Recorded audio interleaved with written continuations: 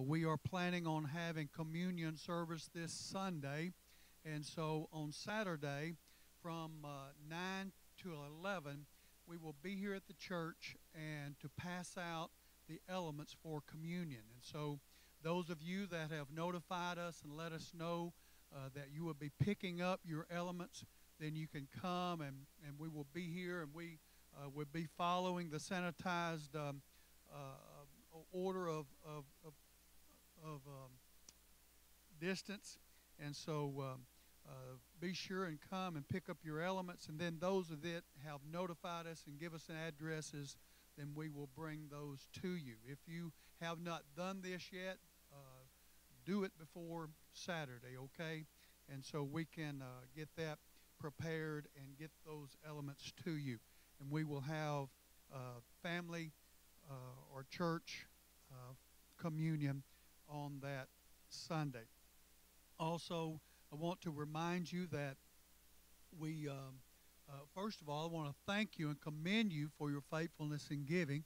You've done tremendous in mailing in your tithes and offerings and, and using the new online giving. Thank you so much for uh, continuing to support the church and uh, uh, this body. Appreciate that so very much. And I want to remind you that we do have the online giving in place and so if you would like to uh, uh, do that, uh, you can go on Facebook, on our Facebook page, and find the app to do so, and so to set up your account.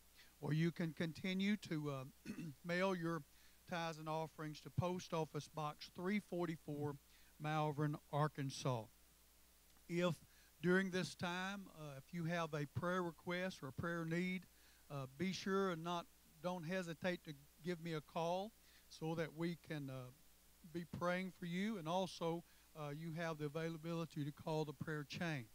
And so you can call those ladies, and they will uh, get on that prayer list and, uh, and, and call your name before the Lord. We want to go to the Lord in prayer tonight, and we want to continue to remember uh, these that are on our prayer list Michael Jimerson, Debbie Clark, Jason Amerson, uh, Diana Bennett, uh, Paulette Fowler. Uh, be sure and remember Ben and Kenzie Gifford, and also the victims of COVID 19. And let's remember also our shut ins Betty Hightower, Elizabeth Slate, and Sister Betty Rogers.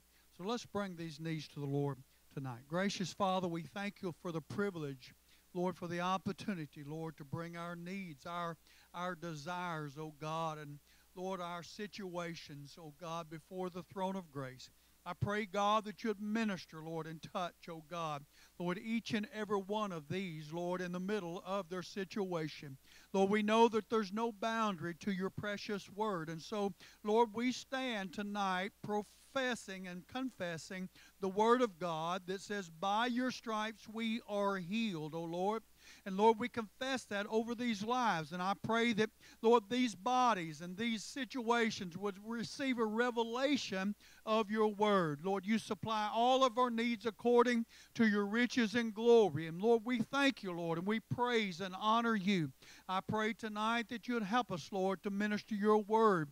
Oh God, I pray that holy anointing, oh God, to fall upon the messenger here tonight. Let these words go forth to minister, O God, and to bring encouragement and blessing, Lord, to your people as we give you all the praise in Jesus' precious name. Amen and amen. Praise the Lord. Tonight I'm going to take my text from Colossians chapter 2 and starting with verse 13. We're coming up on Good Friday. Good Friday was uh, is symbolic of the time that uh, Christ was crucified on the cross of Calvary for our sins. He made provisions. He redeemed us from the curse of the law. And so he paid redemption's price for you and for me. And so I just want to remind you tonight that the cross has the final word. The cross has the final word in every situation in a child of God's life. Colossians chapter 2 and verse 13, it says, And you being dead in your sins and the, the uncircumcision of your flesh, hath he quickened together uh, with him, having forgiven you all trespasses, blotting out the handwriting of ordinances that was against us, which was contrary to us, and took it out of the way, nailing it to his cross. And having spoiled principalities and powers, he made a show of them openly, triumphing over them in it. Amen. After the reading of this text tonight, we have enough, amen, that we can clean from. Glory to God. Amen. We could stop right here and receive anything that we have need of in our lives. Amen. Because the blood has been shed, the price has been paid. Glory to God. And we, amen, have been redeemed from the curse of the law. And so the Lord Jesus Christ had made provision, hallelujah, for our lives. You see, the cross of Calvary paid sin's penalty, and the resurrection secured it for eternity. Amen. Glory to God. Because He died for us, Amen. And he rose victorious over death, hell, and the grave. He's the first fruits of the resurrection. And because he rose from the dead, we too, glory to God. Amen. I love the scripture where Paul says, in a moment, in the twinkling of an eye, hallelujah. Amen. One of these days there's going to be a great gathering. Amen. The dead in Christ shall rise first, Then we who are alive and remain shall rise to meet uh, them with our Lord in the air. Glory to God. Oh, listen, the cross of Calvary is the only thing that stands between the saint of God and hell. Amen. It's the only thing that stands between us and eternal penalty. Glory to God. So I thank God for the cross of Calvary. You see, the cross made all the difference. The cross of Calvary today is an empty cross. Oh, some religions today, they still have Jesus hanging on the cross. But Jesus, amen, is no longer on the cross. He's no longer in the tomb. He's rose victorious over death, hell, and the grave. He ascended to the right hand of the Father. Glory to God. God, and He is there. And the Bible has even went further and said that you and I are seated in heavenly places in Christ Jesus. Hallelujah. He was dead, yet He is alive forevermore. You see, every accusation of the accuser every attack of the adversary, all sickness and disease, anxiety and fear, poverty and lack, every bondage and every trap of the enemy cannot withstand the power of the cross. It cannot withstand the power of the cross. Our text said, having forgiven you all trespasses, blotting out the handwriting of ordinances that was against us, which was contrary to us, he took it out of the way, nailing it to his cross. You see, your sins and all your failures were nailed to the cross. Your sickness and disease was nailed to the cross. All your fear and anxiety has been nailed to the cross. All of your debts have been paid in full. Your provisions have been made. And the victory of the cross is ours tonight. Glory to God. It's a done deal. Amen. It is finished. Hallelujah. Oh, glory. Right now, we can just lift our hands and thank Jesus for all that He's done. Lord, I thank you. Lord, for the, oh Lord, for the price that was paid. I thank you and I honor you in Jesus' name. Amen. It goes on and says, and having spoiled principalities and power, he made a show of them openly, triumphing over them in it. So you can just lift your head tonight and you can sing that song, Victory is Mine. Victory is mine. I told Satan to get thee behind. Victory today is mine. Glory to God. You are an overcomer, a victor, a saint of the living God. Oh, tonight you may be surrounded by opposition. Your marriage may be on the rocks, or, or your job, amen, there's an uncertainty, or you may be overwhelmed on your job. Your family may be dysfunctional, or, or you may have a bad diagnosis. But Romans 8 and 37 says, Nay, in all these things we are more than conquerors through him that loved us. You see, the cross has the final say. Amen. In anything you may be facing in this lost and dying world, the cross has the last word. Jesus said in John 16 and 33, Amen. These things I have spoken unto you, that in me ye might have peace. In the world ye shall have tribulation, but be of good cheer. I've overcome the world. Oh, I want to look tonight at some things that the cross has provided for you and for me. First of all, the cross of Calvary has provided a highway of holiness. Amen. A pathway into the holies of holies, in the very presence of God, so that you and I can now amen, have a personal, intimate relationship with Jehovah God, the one who made us and loves us. You see, without the cross, there's no way to the Father, no way to have a relationship with our Savior. But Jesus is the way, He is the only way. John 14 and 6, Jesus said, Unto Him I am the way, the truth, and the life. No man comes to the Father but by me. Oh, there's been many, and there are some that have said that there's many ways, many avenues, there's many paths that lead to God. But I want you to know tonight that Jesus is the only way. The only way we could come, amen, to our Heavenly Father is through the shed blood of Jesus Christ. Jesus Christ on the cross of Calvary made a highway of holiness so that we could come into that holy place and bring bring our petitions, our needs, glory to God. Even we can come boldly before Him, honoring and praising and worshiping and glorifying our Lord. Oh, the cross, it provides forgiveness for sin. You see, the debt that was paid on Calvary has given us the opportunity to be forgiven of our sins. Be forgiven of our sins. He took our sin, our shame, amen, upon His own shoulders. He took our place so that we could have, amen, we wouldn't have to suffer. His love Amen. He loved us so much. And his love is an amazing love. He chose to suffer and to die for you and for me. Ephesians 1 and 7 says, In whom we have redemption through his blood, the forgiveness of sin according to the riches of his grace. Amen. Oh, listen, the cross of Calvary, it provides freedom. It provides freedom to all who believe. You see, freedom from the shackles of sin, freedom from shame and fear and disgrace and worry, freedom from hopelessness and despair, freedom from addiction and guilt and darkness and eternal separation from God. John 8 and 36 says, If the Son therefore shall make you free, you shall be free indeed. Hallelujah. I'm glad to know tonight, amen, that I've been set free. He that the Son has set free is free indeed. Glory to God. The cross of Calvary, it has provided a new life. Hallelujah.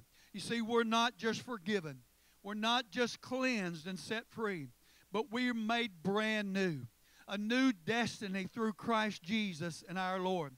We are changed on the inside and His Word and His Spirit renews our minds and He changes our hearts and our desires and He gives us a new purpose in this life. Oh, you see, as we accepted Jesus Christ as our Lord and our Savior, we repented of our sins. We were sorry for our sins.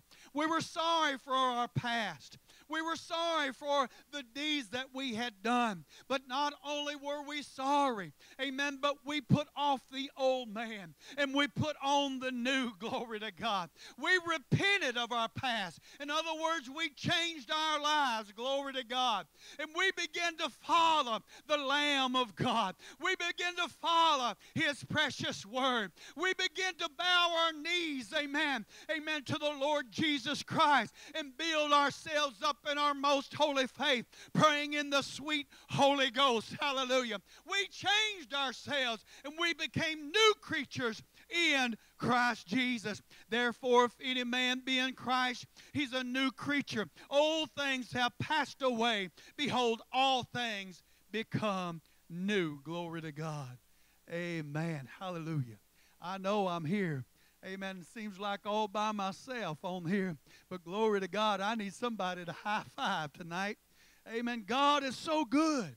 Amen. The cross of Calvary has provided overcoming power. Overcoming power. It is a delegated power. It is a power that's backed, amen, by the creator of the universe. Hallelujah. Glory. When Jesus died on the cross and was placed in that empty tomb, that wasn't the end of the story. You see, the picture of the cross is not a picture of defeat, but it's a picture of victory and overcoming power. The resurrection of Jesus Christ was and still is the example of the overcoming power of God. Oh, listen, the grave couldn't hold him. Death couldn't keep him. And hell couldn't touch him. Hallelujah. He spoiled principalities and destroyed all the power that hell had to offer. He then made a show of them openly, putting Satan and all of his demons to shame, triumphing over them. Amen. For eternity. Glory to God.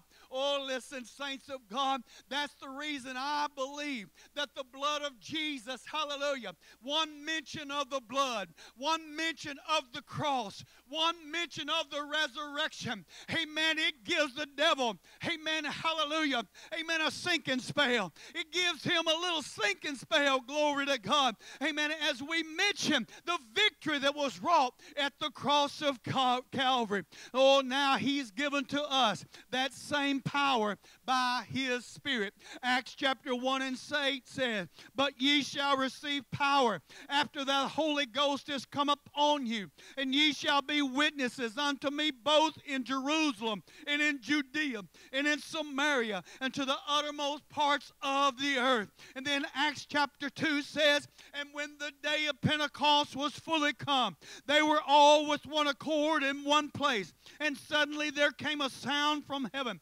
as of a rushing mighty wind, and it filled all the house where they were sitting. And there appeared unto them cloven tongues, like as a fire that sat upon them, and it sat upon them. And they, amen, were all filled with the Holy Ghost and began to speak with other tongues as the Spirit gave them the utterance. Oh, listen, saints of God, today every blood bought, spirit filled child of God can proclaim, hallelujah, that the Spirit of the Lord is upon me because He hath anointed me to preach the gospel to the poor. He has sent me to heal the brokenhearted, to preach deliverance to the captive, and recovering of sight to the blind to set at liberty them that are bruised, to preach the acceptable year of the Lord. Hallelujah. Thank God for the cross. Oh, that cross has provided victory for us. Amen. We've been given victory over every enemy of the cross through the Lord Jesus Christ. Amen. He took away our fear. Second Timothy 1 and 7 says, For God had not given us the spirit of fear, but of power and of love and a sound mind. You see, we're overcomers. Amen. We're overcomers by the blood of the Lamb and the words of our testimony. He supplies all of our needs according to his riches in glory in Christ Jesus. Oh, Deuteronomy 31 and 8 says, And the Lord, he it is that doth go before thee. He will be with thee, and he will not fail thee, neither forsake thee. Fear not, neither be dismayed. He will always cause us to triumph in Christ Jesus. Because He never leaves our side. He never leaves us. Glory to God. Oh, the old black spiritual. Amen. Glory to God. It goes like this He never has left me alone. He never has left me alone by night and by day. He is with me all the way. He never has left me alone. You see, we stand in the mighty name of Jesus Christ. And in Him we live and move and we have our being. Oh, listen, when the enemy comes in, like a flood, the Lord will raise a standard against him. A standard, a flag, a sign, hallelujah. And that sign is nothing more than Jesus Christ and him crucified. Glory to God. Jesus, hallelujah, has paid redemption's price. Exodus 14 and 14 says, The Lord shall fight for you, and ye shall hold your peace. Glory to God. Listen, that cross, amen, has prayed and it has provided for our eternal home. We no longer have to fear or worry about, amen, the coming days.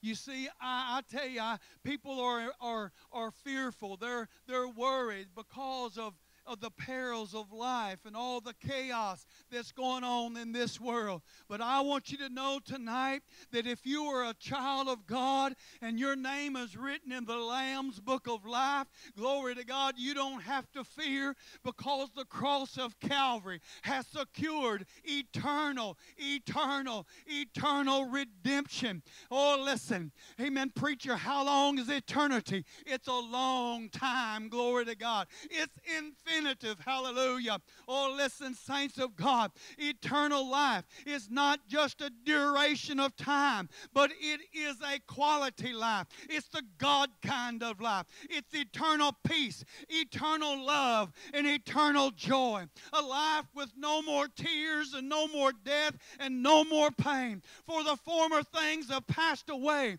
and all things are made new. Glory to God. First Corinthians 2 and 9 says, but as it is written, eye hath not seen nor ear heard, neither has entered into the heart of man the things which God hath prepared for them that love him. Glory to God. You see, this earth is only temporary. Amen. This, this chaos and all of this stuff that we're going through time. Amen. It is but for a moment. Glory to God. But we're headed for a new Jerusalem. We're headed for a holy city. Glory to God a place that is far greater than we could ever imagine. And it's called heaven because Jesus will be there. Listen, it don't matter what's going on in your life today. It don't matter what's going on in the world today. The cross of Calvary has the last word. Hallelujah. And that word, amen, glory to God. Amen. And that word has brought redemption. That word has brought victory. That word has brought, amen, our security. It's brought our power. It's brought, hallelujah, blessing into our lives. And it's paved a way of highway of holiness right into the presence of God. It's made a way that you and I today, glory to God, as we depart this life, hallelujah, we can be with our Lord and our Savior. Hallelujah. Listen, if you're not sure that your name is written in the Lamb's book of life. I want you to know that we're living in our last days. We're living in the last days. But I want you to know, glory to God, that our, our too lates are never too late with God. Our too lates are never too late with God. Hallelujah. Amen. When He comes on the scene, amen, He can make do the impossible. And we put our faith and trust in Jesus.